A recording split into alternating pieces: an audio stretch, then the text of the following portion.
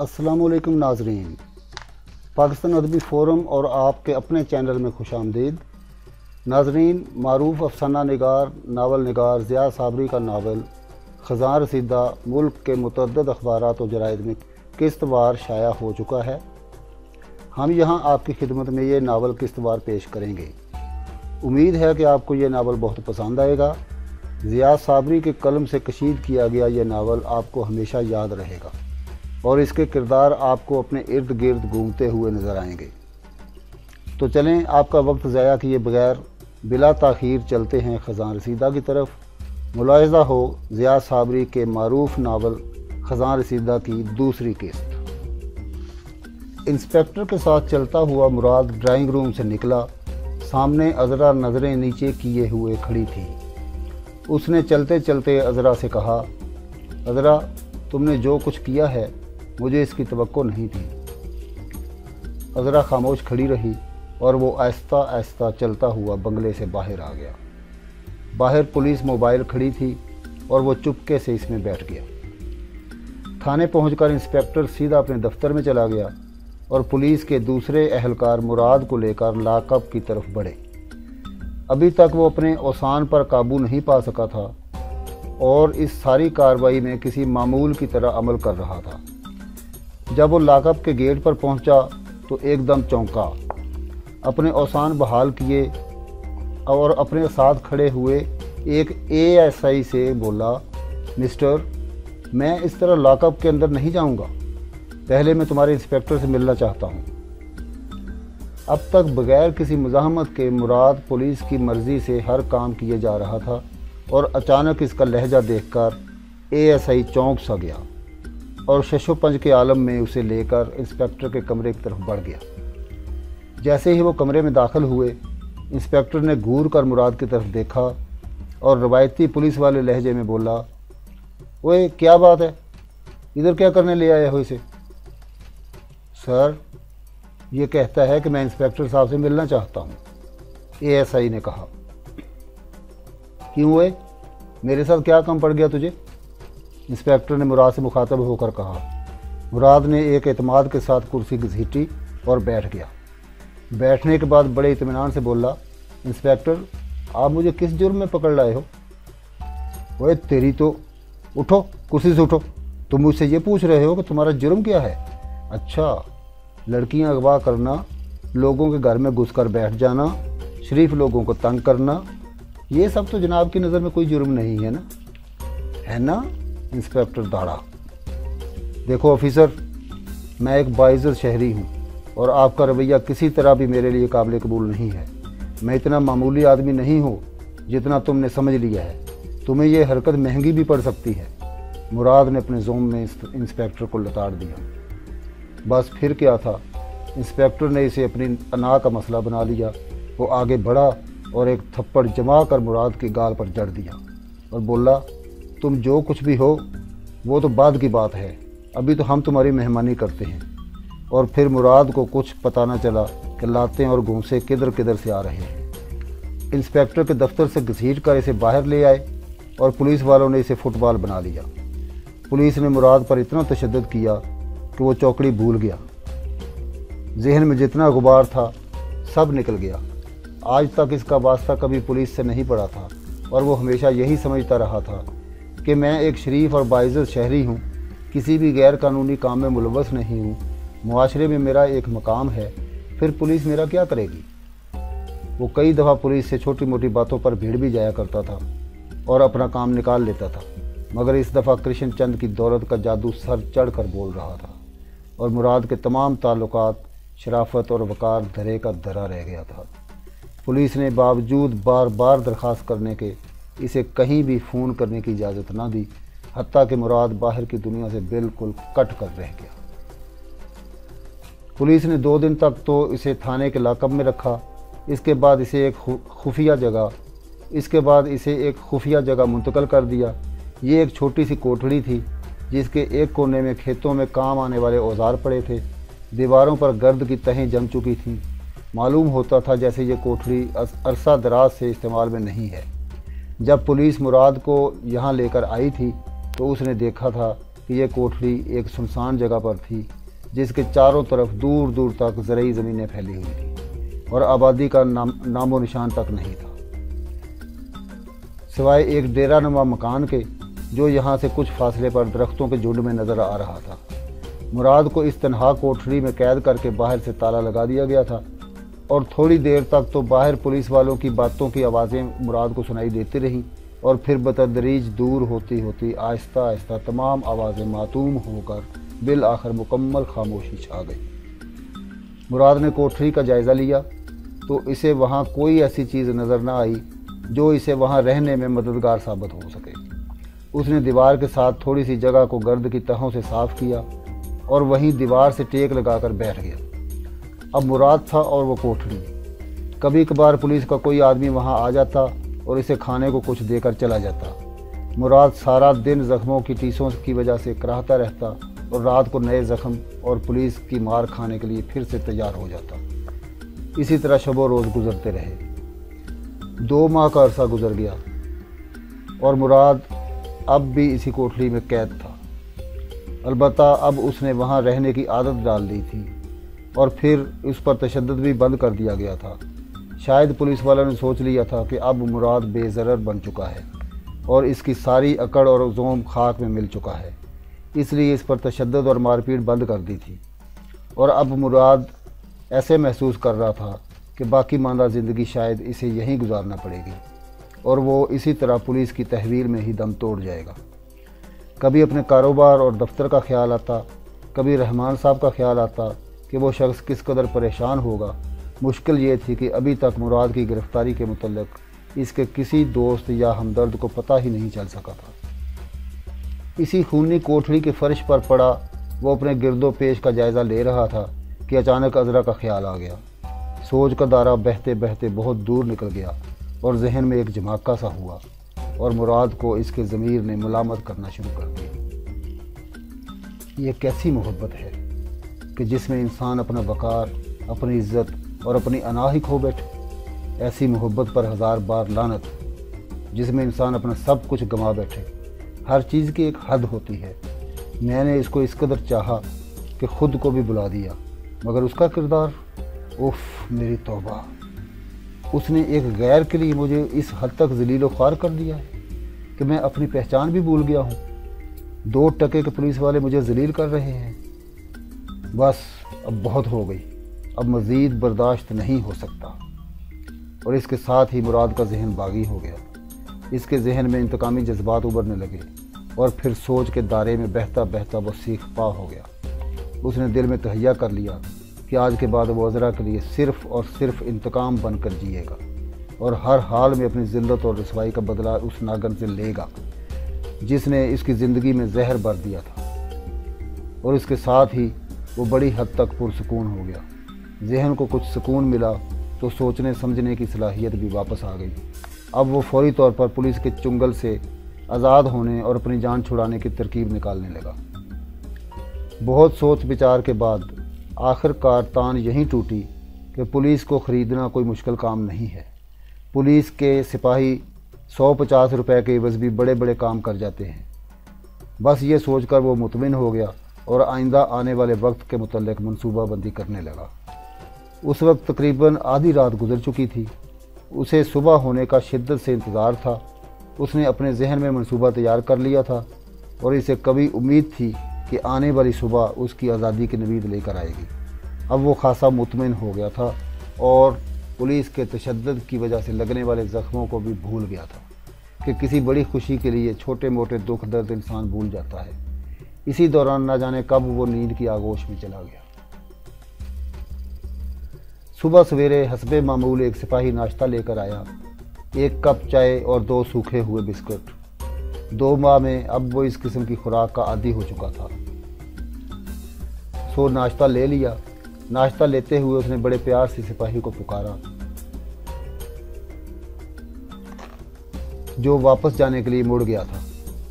भाई ज़रा बात सुनना। हाँ क्या बात है? उसने लापरवाही से कहा। मुराद ने सिपाही को अपने करीब बुलाया और इसे अपने पास बैठने को कहा। पहले पहल तो उसने पसो पेश से काम लिया, मगर जब मुराद ने इसकी मादरी ज़बान में बात की तो सिपाही मुराद के करीब ही बैठ गया और बोला, तुम सिंधी हो, मगर आज तक तुमने कभी भी ज़ाहिर नहीं किया। हाँ बताओ क्या बात है? जल्दी बता दो, हो सकता है कि साहब इधर आ निकले। नहीं, साहब तो इतनी सुबह सोकर भी नहीं उठते। तुम मेरे सिंधी भाई हो, मैं तुमसे कुछ बातें करना चाहता हूँ। तुम्हारा नाम क्या है? मुराद ने इसे तसली देते हुए कहा। वो दिल ही दिल में खुश हो रहा था कि इसका काम मनसूबा से भी ज़्यादा आसान हो गया था। बहरहाल, सिपाही ने इसके सवाल का जवाब देते हुए कहा, मेरा नाम परियल है। रदा तुम मुझको ये बताओ कि आखिर तुम्हारी साहब के साथ दुश्मनी क्या है? साहब आखिर तुम्हारे पीछे क्यों पड़ गया है? अदा परियल, ये एक लंबी कहानी है, पर तुम मेरा एक काम कर दोगे? मुराद ने परियल से कहा, अदा मुराद, मैं एक मतहत आदमी हूँ, मेरे बस में तो खैर कुछ भी नहीं है, पर तुम काम बताओ, हो सकता है कि मैं तुम्हारे कुछ काम आ सकूँ। तुम सिंधी बाई हो, कुछ तो करना ही पड़ेगा, मगर, परियल ने फिक्रा अधूरा छोड़ दिया। मगर क्या? मुराद ने बेचैनी से पूछा। तो वो बोला, अदा मुराद, असल में ये जो इंस्पेक्टर है ना, बहुत ालिम आदमी है। अगर उसको पता चल गया ना तो वो मेरे ऊपर मुसीबत कर देगा। इसकी तुम फ़िक्र ना करो। मैं तुमसे सिर्फ़ एक छोटा सा काम लेना चाहता हूँ और इसके बदले में मैं तुम्हारी खिदमत करने को तैयार हूँ। मैं यहाँ तुम्हारी कैद में पड़ा हूँ तो क्या हुआ? मैं यहाँ इस हाल में भी दस बीस हज़ार रुपये खर्च कर सकता हूँ। मुराद की इस बात का परियल पर गहरा असर हुआ और वो एकदम वदब सा हो गया। बोला तो फिर साईं, अब जल्दी बताओ ना मुझे क्या करना है? तुम्हें कुछ नहीं करना है। तुम बस मुझे कोई ऐसा औज़ार या चीज़ ला कर दे दो, जिससे मैं ये दरवाज़ा तोड़कर बाहर निकल सकूँ। लकड़ी का दरवाज़ा है, आसानी से टूट जाएगा। बस इतना कि मैं इससे निकल सकूँ। मुराद ने परियल से कहा। तो फिर साईं, फिर क्या होगा? परियल ने पूछा। फिर ये होगा कि मैं दरवाज़ा तोड़कर यहाँ से रात को निकल जाऊँगा। मैं अपने दफ्तर का एड्रेस तुम्हें दे जाता हूँ। मेरे पास दफ्तर में आकर अपना इनाम ले जाना। बस, इतना सा काम है और मुराद की बात अधूरी रह गई। दूर से किसी ने परियल को पुकारा था। परियल यकदम खौफजदा सा होकर खड़ा हो गया और जल्दी से बोला, सही, जमादार आ गया है। ये साहब का ख़ास आदमी है, मैं चलता हूँ। ये कहकर वो कोठरी से बाहर निकल गया और बाहर क्लिक की आवाज़ ने मुराद को बता दिया था कि बाहर से ताला लगाया जा चुका है। मुराद अपने नसीब पर फिर आँसू बहाने लगा। इसका दिल भर आया। उसने खुद को बहुत मजबूर पाया और इसकी हिम्मत जवाब देने लगी। उसने महसूस कर लिया कि यहाँ से निकलना इतना आसान नहीं जितना वो समझ बैठा है। क्योंकि कुछ ही फासले पर जो एक मकान था, इसमें पुलिस के दो तीन आदमी इसकी निगरानी के लिए हर वक्त मौजूद रहते थे। और रात के वक्त दरवाज़ा तोड़ने से जो आवाज़ पैदा होगी, इससे वो बसानी मुतवजो हो सकते थे। आखिरकार उसने सोचा कि जब दोपहर को या शाम को परियल खाना लेकर आएगा तो इसे रहमान साहब के लिए एक ख़त लिख कर देगा और इसे सारी सूरत हाल लिख भेजेगा। इस तरह इसका बाहर की दुनिया से रबता हो जाएगा। अपनी हसरतों पर आँसू बहाते बहाते जब थक गया तो निडाल होकर गिर पड़ा और परियल के दोबारा आने का इंतज़ार करने लगा। दोपहर को खाना लेकर परियल ही आया और मुराद ने इसे सिगरेट के पैकेट पर रहमान के लिए पैगाम लिख कर दिया। अपने दफ्तर का पता इसे समझाया और उसे कहा कि यह पैगाम वो रहमान साहब को तक पहुँचा दे। परियल ने इसका वादा कर लिया। मगर दूसरे दिन जब परियल वापस आया तो उसने ऐसी रूह फरसा खबर सुनाई कि मुराद के रहे सहे औसान भी ख़ता हो गए। उसने बताया कि वो मुराद के बताए हुए पते पर गया था मगर वहाँ एसी एडवर्टाइज़र्स का दफ्तर नहीं है, बल्कि मॉडर्न फर्नीचर्स का शोरूम है। और वहाँ पर रहमान नाम का कोई शख्स नहीं है। शोरूम वालों ने बताया था कि उन्होंने डेढ़ माह कबल ये जगह किराया पर ली है और इससे पहले एसी एडवर्टाइज़र वाले ये दफ्तर खाली कर गए थे। मुराद ये सुनकर बेहोश होते होते बचा। इस बात से ज़ाहिर हो रहा था कि रहमान ने दफ्तर भी खाली कर दिया था। न जाने क्यों। अब तरह तरह के ख्याल मुराद के जहन में उठ रहे थे। कभी सोचता कि कृष्ण ने दफ्तर में भी कोई गड़बड़ कर दी होगी। कभी सोचता कि इसकी गैर मौजूदगी में रहमान की नीयत ख़राब हो गई होगी। बहरहाल कई किस्म के अंदेशे सर उठाने लगे। और सबसे बढ़कर ये कि वो अपनी आखिरी उम्मीद की किरण भी खो चुका था। इसका दिल चाह रहा था कि वह दाढ़े मार मार कर रोए। इस कैफियत को परियल ने भी भांप लिया था। उसने मुराद से कहा, साईं, वो दफ्तर आपका था क्या? परियल के इस सवाल से मुराद के जब्त के सारे बंधन टूट गए और आँसू इसकी आँखों से बह निकले। वो बेख्तियार हिचकियाँ लेकर रोने लगा। परियल ने आगे बढ़कर उसके कंधे पर हाथ रख दिया।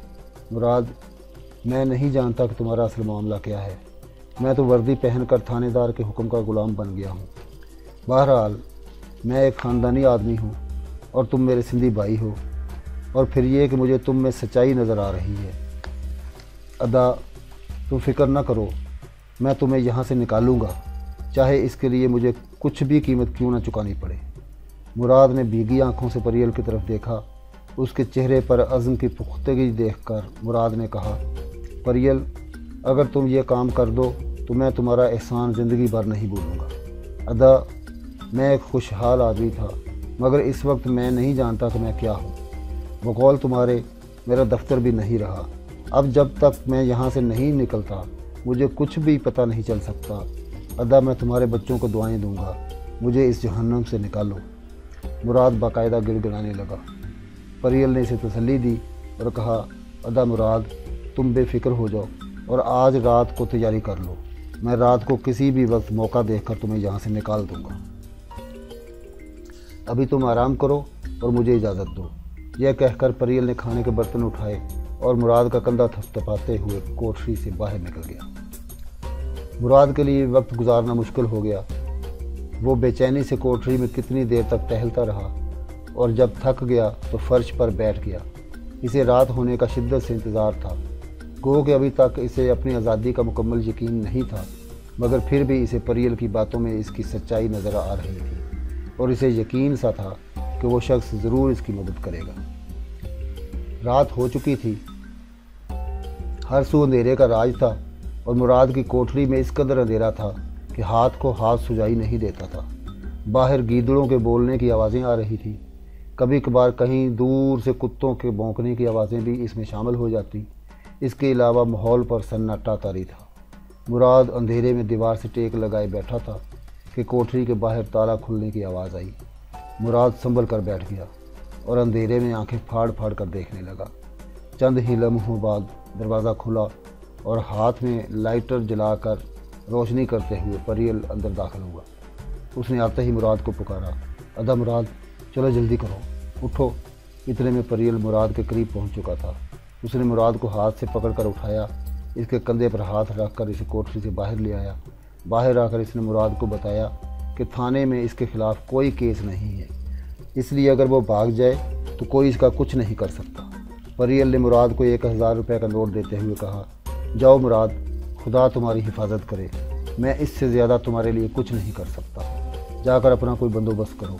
जाओ, खुदा हाफिज़। बेख्तियार मुराद का दिल चाहा कि बदनाम ज़माना महकमा पुलिस के इस हीरो के पाँव पर गिर जाए, जिसके सीने में एक हमदर्द और नेक इंसान का दिल धड़क रहा था।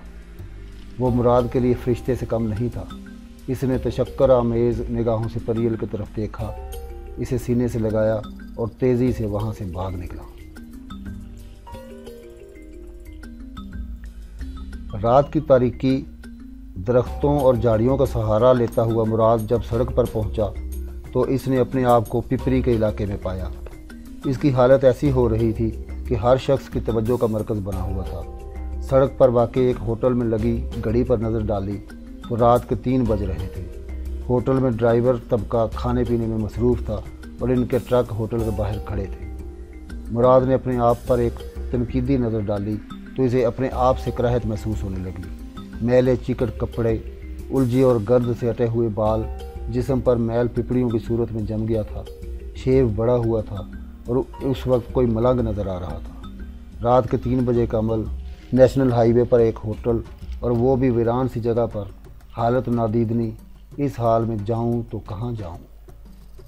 हवास बहाल करने के लिए चाय पीने का इरादा करके जैसे ही वो होटल के अंदर दाखिल हुआ तो होटल का मालिक काउंटर के पीछे से चिल्लाया, ओ बाबा बाबा, बाहर निकलो बाहर निकलो। मुराद की आँखों में आँसू आ गए। वो सीधा चलता हुआ काउंटर पर गया और होटल के मालिक से मुखातब हुआ, आप अपनी जगह ठीक हैं, मगर मैं कोई फ़कीर या मलंग नहीं हूँ। मैं चाय पीना चाहता हूँ और इसके पैसे मैं दूँगा।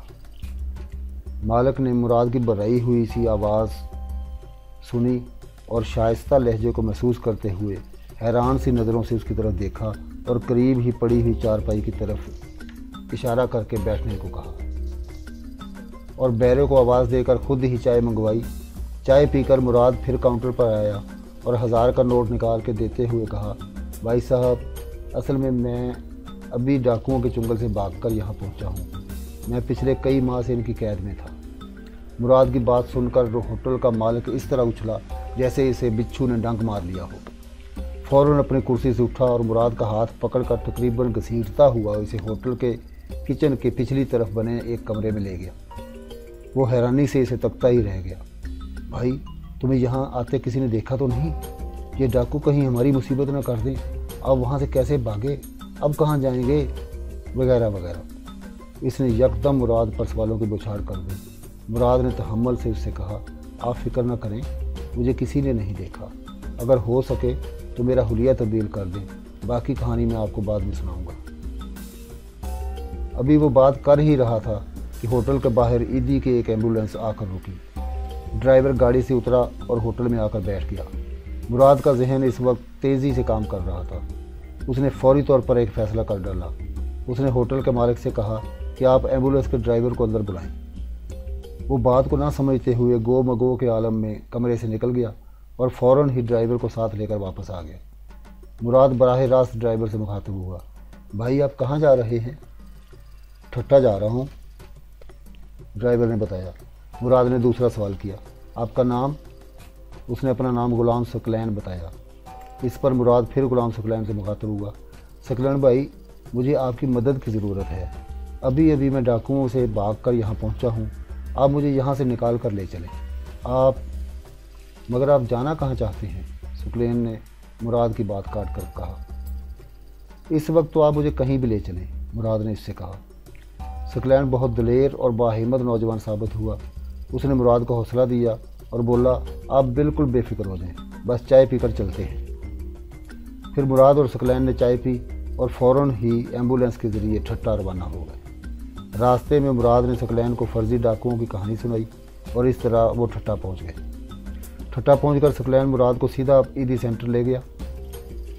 ईदी सेंटर के नाइट क्लर्क ने जब सकलैन के साथ मुराद को देखा और मुराद की हालत देखकर अजीब सी नज़रों से इसे देखता रहा, मगर कोई सवाल न किया। उस वक्त तक सुबह हो चुकी थी और उफक पर दिन की सफ़ेदी फैलने लगी थी। सकलैन ने मुराद को अपने कपड़ों का एक सूट देकर इसे गुसल खाने में धकेल दिया।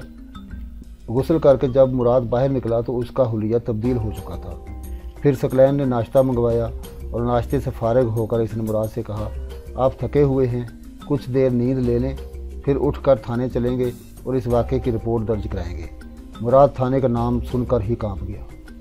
उसने सकलैन से कहा कि ठट्टा थाने वाले ये केस नहीं लेंगे, क्योंकि ये केस कराची का है। बहरहाल, अभी तो वाकई मुझे नींद की ज़रूरत है। सोकर उठेंगे तो फिर सोचते हैं कि क्या करना है। और फिर मुराद बिस्तर में घुसकर सो रहा। दोपहर के वक्त सकलैन ने मुराद को जगाया। मुराद उठा और मुँह हाथ धोकर दफ्तर में आ बैठा। इतनी देर में सुकलैन खाना मंगवा चुका था। दोनों ने मिलकर खाना खाया और फिर सुकलैन यूँ मुखातिब हुआ। जी मुराद भाई, अब बताएँ कि क्या करना है? मेरा ख्याल है कि अब मुझे कराची जाना चाहिए। और अपने घर और दफ्तर का पता करना चाहिए। और साथ ही वहीं जाकर मैं रिपोर्ट भी दर्ज कराता हूँ। मुराद ने जवाब दिया तो सकलैन ने इससे इतफाक़ करते हुए कहा, ठीक है मुराद भाई, मेरे लायक कोई और खिदमत हो तो ज़रूर बताएँ। मुराद ने इसका शुक्रिया अदा किया और कराची के लिए रवाना हो गया।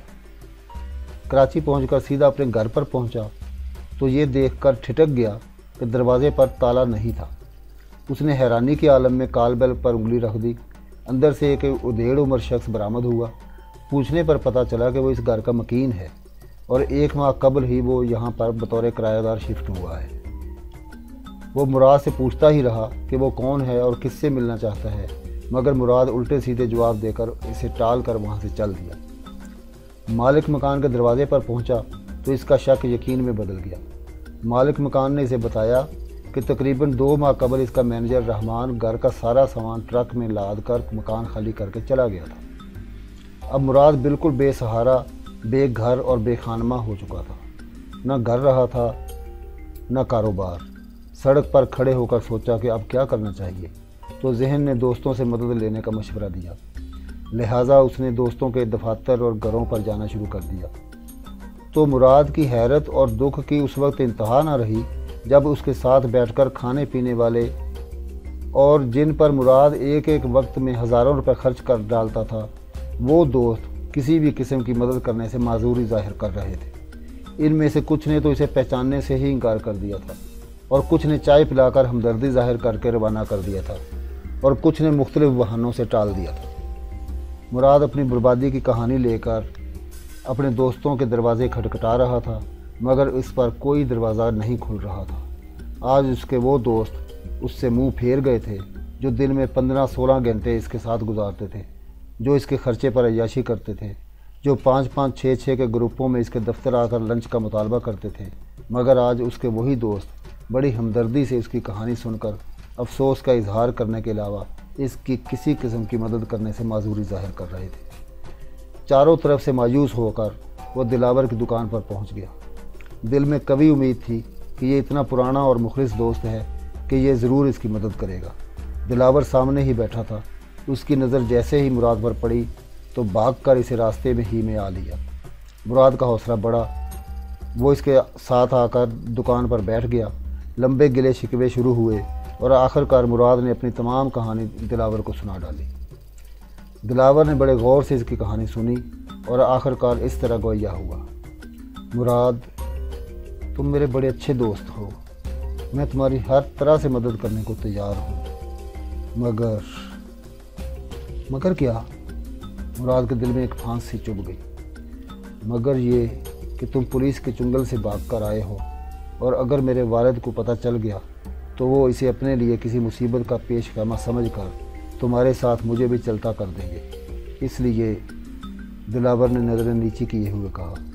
मुराद ने इससे आगे कुछ नहीं कहा। खामोशी से उठा और दिलावर की तरफ़ देखे बगैर वहाँ से चल दिया।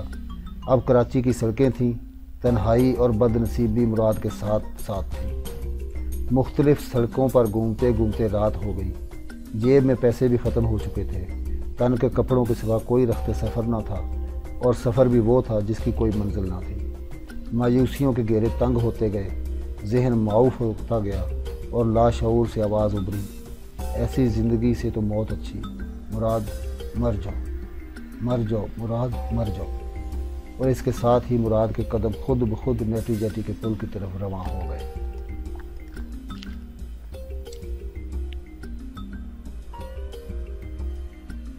नाजरीन, ये थी ख़जान रसीदा की दूसरी किस्त। इस शानदार नावल की तीसरी किस्त के साथ बहुत जल्द दोबारा हाज़िर होंगे।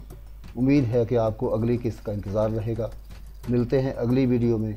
किस्त नंबर तीन के साथ जब तक के लिए इजाज़त। अल्लाह हाफिज़।